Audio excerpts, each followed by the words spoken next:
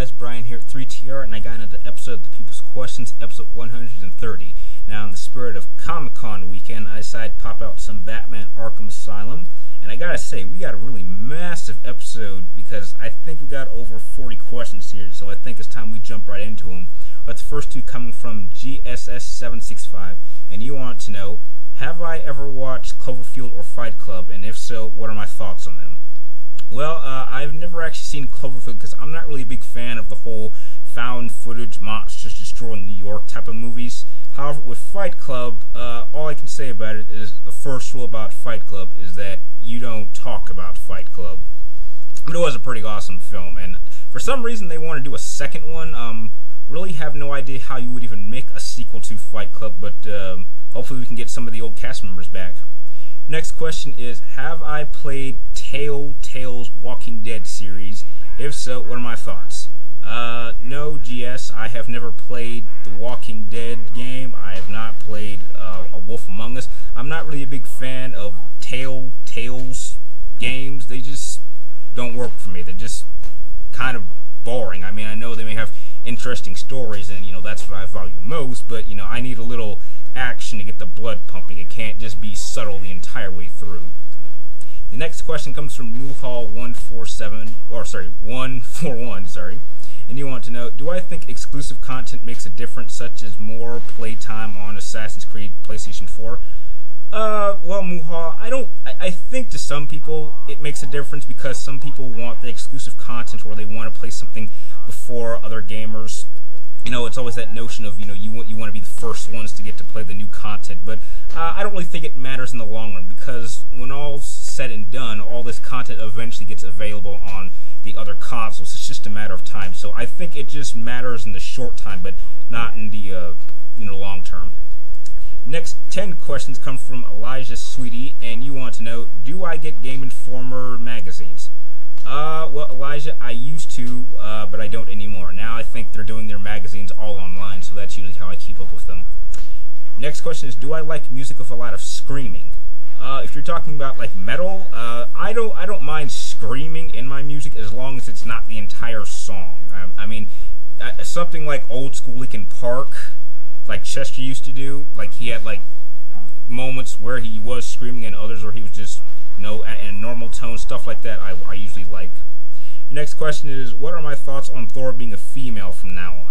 Uh, well, I've never actually been a big fan of Thor, so I don't really care what they do with the character. They could make him a woman, a black woman, a Chinese man, a, an Amish person. I don't really care what they do with Thor. Next question is, what are my thoughts on Avengers 2? Uh, well, at first I was never a big fan of Avengers 1, but over the course of time I kind of ended up sort of liking it. So, uh, from what I can tell, they're just going to repeat the same thing. Uh, Tony's going to accidentally build Ultron, Ultron's going to make an army of robots, and then you're going to have the Avengers fighting off another giant army of CGI characters. So it's pretty much going to be the same thing as the first one. Your next question is, what are my thoughts on the future of Marvel? Uh, I don't really read Marvel comics all that much, so I really could care less what Marvel does with its future. Your next question is, have I ever broken the law, and if so, what did I do, and if I felt comfortable telling? Uh, hmm, let's see. Breaking the law, breaking the law. Uh, can't really think of any moments where I intentionally broke the law. I mean, unless accidentally, you know, not stopping at a stop sign while I was learning how to drive counts, then I guess that would be considered breaking a law, I guess, but on accident. Next question is, have I ever snuck into a movie? Oh, you mean theater hopping? Uh, no. I have never theater hopped despite the fact that I've been tempted to. Like, if I go pay for a movie, I think it's going to be good, and then like 30 minutes in, I realize it's going to be just a terrible movie, so I want to get up and just sneak into another film. I've been tempted to do that, but no, I'm usually pretty honorable when it comes to my movie theater experiences. If I pay for a movie, I plan to see it all the way through. Except for one instance where I actually walked out of the movie like five minutes in, but heck, that's a story for another time. Next question is, what is my favorite animated kids movie? You know, I really can't think of any right now. I, it would have to be a Disney movie. I would really have to sit down and think about that. And what is my least favorite animated movie? Um, I don't know. Maybe some of the later Pokemon films, I guess. I mean, I know. Pokemon movies one and two and three I thought were okay. I saw those in theaters, and then when they started getting released to DVD, I think they kind of just went downhill from there, and that was kind of when I walked away from Pokemon. Next question is: Have I ever been outside the United States? If so, where? Uh, well, Elijah, I was actually born outside the United States. I was actually born in the United Kingdom, so I'm actually kind of happy that I actually still have two citizenships. So if I ever, you know, get tired of being an American, I could just fly over to the United Kingdom and become officially British. So I guess that counts. But since then, I, I since moving here like 20 something years ago, I've yet to really leave the country. Uh, the next three questions come from Zach Jaime, and you want to know what is the scariest moment of my life? Um, scariest moment. Uh, well, I guess scary was I was a kid. Uh, I was hanging at the park, and you know how some jungle gyms have that like under section of each set up the jungle gym. Well, what happened was I was like just there's a bunch of wood chips on the ground too. I was under this section of the jungle gym, and for some reason there were ants like hanging from the ceiling, and I didn't see them. And next thing I know, I'm like in a lot of pain, and apparently they dropped onto me, so I was like covered in ants, and like literally two people like had shirts. They took their stairs and they were just swiping them off of me. So like I guess that was pretty scary. So I was like, so getting bitten a lot as a kid as ants is a, I guess that would be pretty scary. Uh, oh, what do you know? A question that uh, I didn't answer earlier on, but I'm to have to now. Your Zach Jaime's next question is, have I ever walked out of the movie theater on a movie, and what movie? Uh, yes, I have. I've only done it once. Um, it was for the movie Salt, and I feel bad about it, because this actually was, like, one of the worst experiences I've ever had going to the movie theaters, aside from another film, which I will not talk about. But, uh, I was, when I, I was dating a girl, and she wanted to go see the movie Salt, and I didn't want to go see the movie Salt because I had already seen it and I didn't like it. And this this was the part that really kind of pissed me off even more. It's like I paid for three people because she wanted to bring her younger brother to go see it, and literally like five minutes in, I just walked out and I left them there. So I pretty much had to spend like an hour and a half just walking around a casino and. I guess, I guess I guess that's the only time I've ever actually walked out of a film. And I felt bad because I paid for three people and only two people went to go see it. I didn't even bother. I didn't even think about going back and getting my money back or going to another movie. The next question is: If I had to eat one thing for the rest of my life, what would it be? Oh, unquestionably, Panda's Express's orange chicken. I can, I, I, I, being honest, that's actually a movie tradition of mine. If I ever go see a movie by myself, I always go to Panda Express and get a, like a box of orange chicken. That way, it helps me think before I uh, review every movie. So, you know, that's kind of a little insight behind the scenes uh, knowledge about uh, what I just did before I started filming my movie reviews. The next set of questions come from Ace Arcadia, and you want to know, are there any characters outside of the Mortal Kombat universe that I would like to see in Mortal Kombat 10? Uh, well, let's see, they added Freddy in the last game, so I wouldn't mind them putting in, um, Jason. Uh, let's see It's kind of hard to think because if it's, if it's in an M-rated game, it would have to be an M-rated character. So, uh, uh, Wow, that's actually a tough one. I really can't. Maybe maybe maybe add Dante from Capcom from Devil May Cry. That, that I think he'd be okay. Um, maybe maybe Rayne from BloodRayne. I think she could, I think she I think she could have a pretty cool uh, set of moves and would have a pretty cool fatality. And your next question is, how impressed am I with the Destiny beta? Well, I'll actually be sure. Well, as soon as the beta is completely over, I'll be sure to uh, upload a um, review on it. But I'm actually enjoying the uh, the beta quite much so far. Next question is, what is the best first-person shooter game I've ever played? Um, Nintendo 64 is GoldenEye, hands down. Ne next time is, when was the last time I was let down at the movies? Um, Transcendence. Uh, that was like produced by Christopher Nolan, and as some of you know, Christopher Nolan is my favorite director, and he has been since even before the Batman Begins. So no, it's not. I'm not one of those fans that just started liking Christopher Nolan just because he did Batman. I was a fan of his long before that.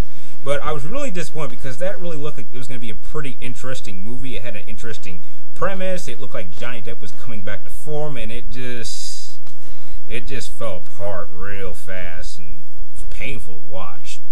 And the last question is, Will I go see Ghostbusters in theaters for the 30th anniversary? Oh, sure. If I can actually find a theater near me that's playing it, then I'll be sure to go um, watch it. Next four questions come from Thou Napping Sniper, and you want to know what do I want to see in Uncharted 4 in terms of story? I want to see Nathan Drake die. Bottom line, I want to see him die. Next question is how do I think Drake's personality will change? Well, that's really well his personality. Well, he hasn't really changed at all. I mean, that's kind of why I didn't really like him all that much in Uncharted 3. I mean, he was just an asshole of a character. I mean, all the supposed development that happens in these games is like completely erased by the time you get to the beginning of the next game. And I think that's kind of my problem with the Uncharted franchise in general. It's like Drake is. A, I mean, there's even a moment in the game where Sully says, you know, why are we still doing this? I mean, it just causes more problems, and Drake is just being a total asshole to him. I mean, that was really the point where I just started really disliking Drake. Next question is, if I had to pick 10 DC heroes to have their own video game series, who would they be and why? Oh God, you know, uh, wow, this this this deserves its own video. But to throw off a few, let's see, Wonder Woman, Superman, a good Superman game, maybe another Wolverine game. Uh, in terms of why, I don't know. Maybe maybe they'd just be fun or something. I don't know. Just I don't know. Pick a lot of. I, you know, I'm gonna have to save this for, for its own separate video. I, I don't like. It, it's really difficult for me to do like top 10 videos in the middle of people's questions. I really like to sit down and think about these. Next question is, will I pick up Division and will I play with my subs? Absolutely. If any of you guys are to get Division as well, please let me know, and maybe you can friend me on uh, my PlayStation, and then when the game's out, we can play together. And if, if you want, I can actually record some of the footage and upload it on the channel. The next three questions come from JDS4696, and you want to know, do I think they will remake the original Metal Gear? Uh, actually, I heard that they were actually doing that. Um, it was actually being done by an independent company. It was just going to be like a 3D version of the old style of Metal Gear. I don't think it was going to be like a true reboot or remastering. It was just they were just going to make update the look of it, which you know that that sounds like a lot of fun. The next question is, do I think we will ever see Dante's father Sparta in his own spin-off game based on the Devil May Cry franchise? I really would like to see a story about Sparta. Uh, we've spent like four games talking about Sparta, and we've never actually seen the legend of Sparta itself. So to actually see what he did in order to become the legendary Dark Sparta, I think that would be a great story. Next question is, do I think Destiny will be great or excellent? Uh, I'm sure it'll be a great game. I just have a couple little concerns, which I'll be sure to talk about in my uh, Destiny beta review when uh, the beta is finally offline. The next question comes from Frankie He, and you wanted to know, if I had one video game series to go on forever, which one would I choose? Mario. Gotta go for the classic one, Mario. Mario is the greatest video game icon in history, so you, you, you, you can't kill off Mario. He's gotta go on forever. The next question comes from Gunner Drake, and you want to know, do I think they should ever make a Metal Gear Solid movie? I think I told, I think I uh, responded to you this in a, another video in the comment section. I told you I was going to do a separate video on it, so uh, uh, keep your eyes open for that, because I will get that video up soon. The next set of questions come from the Reganter. I'm sorry if I butcher your name. And your net wanted to know what movies do I think are going to be in Phase 3 of the Marvel Cinematic Universe? Well, they already announced a bunch of them. We know Ant-Man, uh, they're in talks of doing maybe an Iron Man 4. There's going to be a Thor movie. There's going to be a Captain America 3. There's going to be, uh, we've heard a Doctor Strange. There's obviously going to be another Avengers movie. There might be another Ga uh, Guardians of the Galaxy movie. Uh, they might add a Black Panther in there, that are probably going to be in the uh, Phase 3 cinematic universe have already been announced, or if Comic Con's still going on, which it should be by the time this video is up, they should be announcing them like next couple of days anyway. The next question comes from Giovanni Prasado. I'm sorry if I butchered your name, and you, and you want to know, do I think the Fantastic Four reboot is going to suck? Um, from what I've heard, I don't think it's going to suck. I just don't think it's going to be very unexpected. I think a lot of people are going to be expecting one thing and they're going to get something entirely different. So I don't think it's going to suck, but hopefully it'll be better than the last two Fantastic Four movies that we've had. The next 10 questions come from Mark Main, and you want to know, do I know the TV show Smallville, and if so, what was my favorite season? Uh, no, I never actually watched uh, Smallville. I mean, as much as a Superman fan as I am, I'm not really a big fan of the, you know, what was he before he was Superman like stories. Next question is kind of hard. I'm not sure if you typed this in wrong, but you, from what I can tell from your question, you want to know, did, was I one of the people that wanted James Franco in Dawn of the Planet of the Apes? Uh, it would have been nice to see him, and he did actually have a little bit of a cameo if you actually saw the whole film in that one scene, but uh, uh, I don't think he needed to be in this one because the story has always been about um, Caesar, and so uh, James Franco's character was really just meant as a tool in order for us to see Caesar's development. The next question is, do I only watch wrestling in general, or when it comes to like WrestleMania season? Uh, usually like WrestleMania season. Like I, I'll usually watch or review like the top four pay-per-views. Like unless you guys don't want me to. Like, like I'll review WrestleMania, Royal Rumble, SummerSlam, and usually Survivor Series. I mean, SummerSlam's coming up, so I'm not sure if you guys want me to do a review for that or give a predictions video for that if you want. The next question is, what is my favorite type of gum? Uh, I don't chew gum, so I don't have one. Next question is, would I like to see a Mask 3? No. Mask 2 was stupid. Or Son of the Mask, whatever the hell it was called. Next question is, if I were on an island, how long do you think I would last before I die or help comes? Uh, well, that's kind of a hard question. Um, well, if there's no water, I mean, I don't want to drink salt water and go insane, but if there's no water, I'll be dead in like a week, so hopefully help knows I'm, help arrives, hopefully within a week and I'll survive. Next question is, am I a fan of the TV show Supernatural? No, uh, not really interested in that show at all. Next question is, who do who would I want Rocksteady to go after after, wait a second, let me re-say this. Who do I want Rocksteady to go after next after Batman? So I guess you're asking, like, what superhero do I think they should do? Go for Superman. We need a really definitive good Superman game. And from what I've heard, Superman is actually going to be in the next Batman game. Maybe as like a as a cameo, but they are going to acknowledge that Superman does exist in this world. And if that's so, then I think that's a good starting off point to um, go into a Superman franchise. Next question is: Should Rocksteady do a DC Arkham universe instead of having Batman established? Oh, wait a second. Should Rocksteady do a DC Arkham universe already having Batman established? Uh, no, there's there's no need to. Um, I think the Arkham universe is pretty much well defined. I mean, I think they're about to unleash like a an animated movie. I think it's got its own comic book series. So I think the universe has already really been established at this point. And your last question is, what do I think of your idea for the Mask prequel? Now, I didn't write the whole thing down, but I remember what you said in your in the comments. And pretty much, you wanted to use Loki as Tom Hiddleston's Loki and say that he was the creator of the Mask, and you actually wanted to have it connect to the Marvel Universe. That will never happen, and that is ridiculous. I mean, I understand that you know we're not supposed to take the, the, the, the Marvel movies very seriously, but like this would be just flat out comedy. And how would? How does that work? I mean, if this is supposed to, is, when is this going to take place? Like, is this going to take place after the Avengers? Because it's it's going to be weird to have a story that takes place after the Avengers, yet in the mask that is clearly several years or maybe even a decade and a half before the events of the Avengers. So it's you'd have a bit of a time paradox issue there. And the last few questions come from a newbie, and I'm sorry if I butcher your name, but you go by the name of Bol Egia Bolagun. I hope I said that right. Please correct me in the comments if I got it wrong. And you want to know, could I do a video ranking my top five Final Fantasy games? Okay, I'll get it up. Your next question is, would I ever consider playing a game made by Tail Telltale?